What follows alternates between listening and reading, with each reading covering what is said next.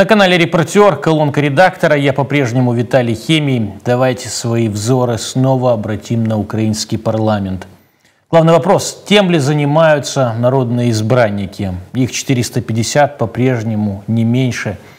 До конца ли они выполняют свою функцию законодателей, трибунов, опять-таки, слуг народа, я не говорю сейчас о политическом объединении, в принципе, они все Э, избранные людьми, все должны быть так или иначе слугами народа. Но обо всем по порядку. Как вы знаете, на этой неделе снова э, скопом увольняли и назначали министров.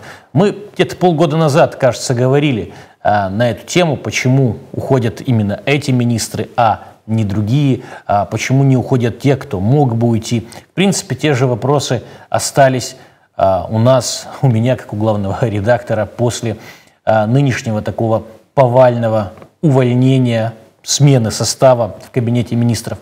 Главный вопрос, почему, допустим, свой пост сохранил а, министр здравоохранения Виктор Лешко.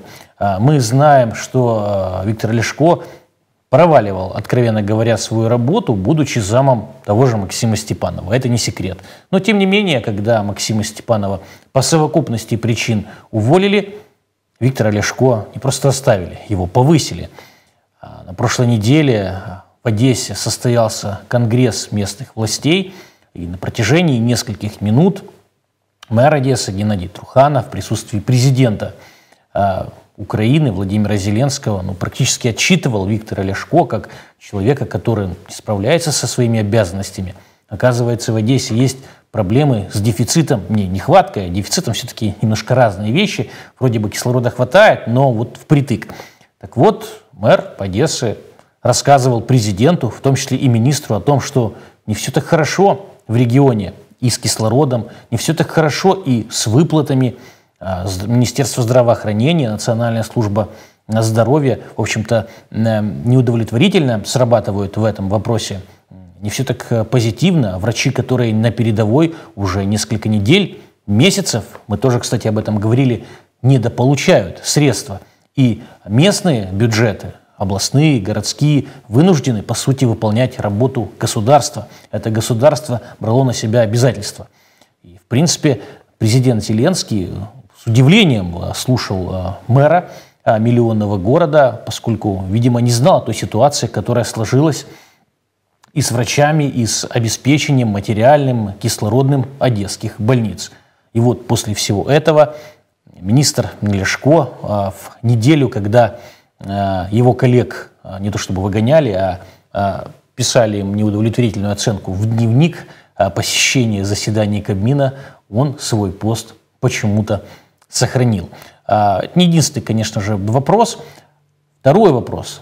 Почему господа, которых отправили с насиженных мест, не отчитались перед депутатами о своей работе? А, понятно, что были случаи, когда кто-то просто пошел на повышение, как, допустим, господин а, Презников, по совместительству капитан команды знатоков в украинском клубе «Что, где, когда». Но были и такие, которые вообще прощались со своими а, постами. Это министр экономики Любченко, вице-премьер-министр Русский. Почему бы не рассказать о том, что удалось сделать, чего не удалось сделать? И тут же вопрос – не сколько к отставленным министрам, сколько к депутатам.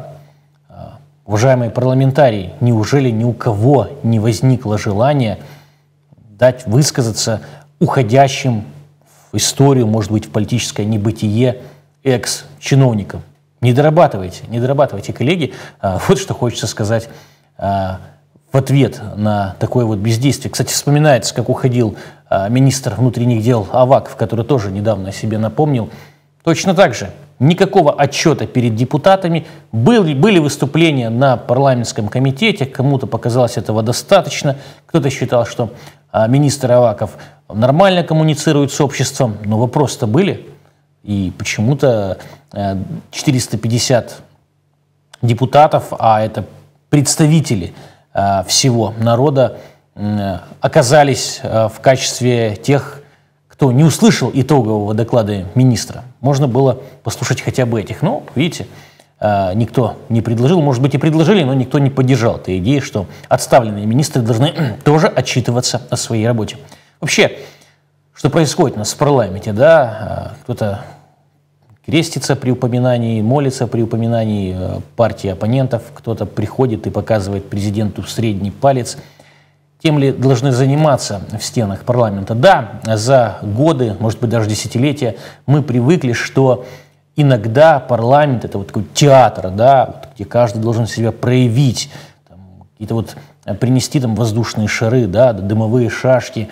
Э, ну, посмотрите, как работают законодательные органы других стран – много ли э, по всему миру парламентов, вот подобных таким вот э, театрам, да, не говорю театром абсурда, а таким вот увеселительным заведением, где в первую очередь не законы принимают, а занимаются самовыражением. Я думаю, что не так много. Ну и подумайте об этом тоже на досуге. Это была колонка редактора. Я по-прежнему Виталий Хеми. Оставайтесь на репортере.